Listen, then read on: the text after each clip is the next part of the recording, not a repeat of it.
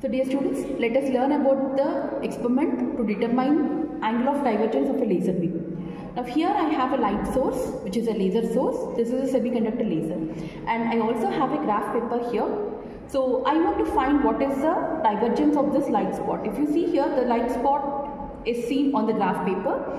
Now if as the light travels a longer distances you can identify that there is some divergence in the beam can see the spot width is much much larger compared to the the scene on the graph paper. So now let us find out what is this amount of divergence. Now for this what do we do is we have to take a laser light source and then place a graph paper in front of the laser source and identify the width of the spot that is the diameter the diameter of this light spot so just mark it with a pencil on the graph paper. Now this we'll do it for different distances. Okay. So what do we do is, this is, first we'll start with a smaller distance like 30 centimeters. So here I have a light source and this from here I would calculate the distance and here is my light spot. So let me start with the smaller distance like 30 centimeters. So this is exactly 30 centimeters I place the light source now let me identify what is the width of this light source. With the help of a pencil, I would mark it on the graph paper. So this is for 30 centimeters of distance I have taken. Now repeat the same experiment for different distances. Like let me go for 60 centimeters now.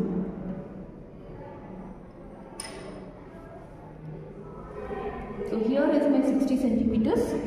Again identify the width of the light spot and mark it on the graph paper. So this is for 30 centimeters what we have marked earlier and this is for 60 centimeters. So this way repeat the experiments for different lengths like for example the third distance I would take it as 90. This is 90 centimeters. So for 90 centimeters let me mark it here So this is for 90 centimeters. So this way repeat the experiment for at least 5 to 6 readings. Now after you finish noting the values, take out the graph paper.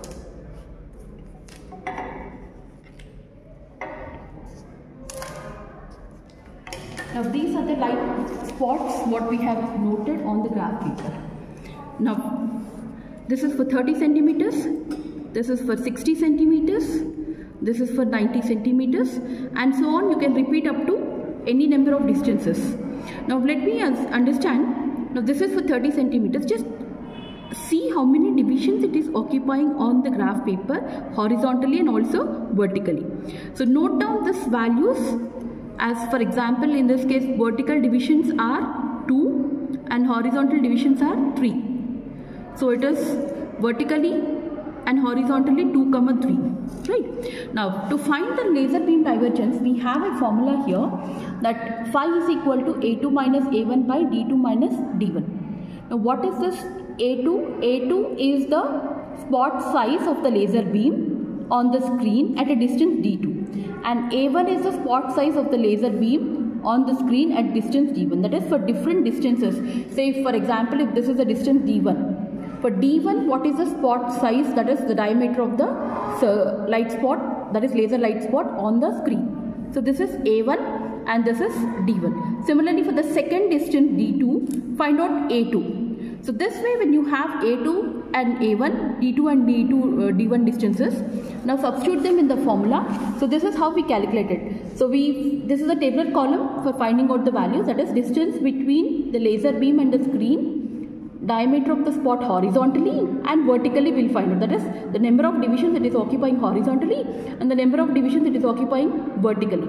So once you have the values here then take the mean of these two. For example in this case we have seen it is 2 and 3. So that is horizontally I have 2 and vertically I have 3. So 2 and 3 averages 2.5, 0.25. So this is actually we have taken centimeters, like uh, the value is calculated in meters here. So 0.25 is the diameter of the spot. So like this for different distances, like we have taken 30, 60, 90 and so on. So here you can see 30, 60, 90, 120, 150 and 180. So approximately 6 readings are taken here. Similarly find out what, are, what is the mean diameter of all the spots for different distances. Now take any two distances and take the values as A1, A2, D1 and D2 and find out the value of phi. So here since we have 6 readings here, so we have 3 values of phi that is the beam divergence. So take the 3 values and take the average of all the 3 values that would give you the final value of the beam divergence. That is how much is the deviation in the light spot after traveling certain distance. So this is the experiment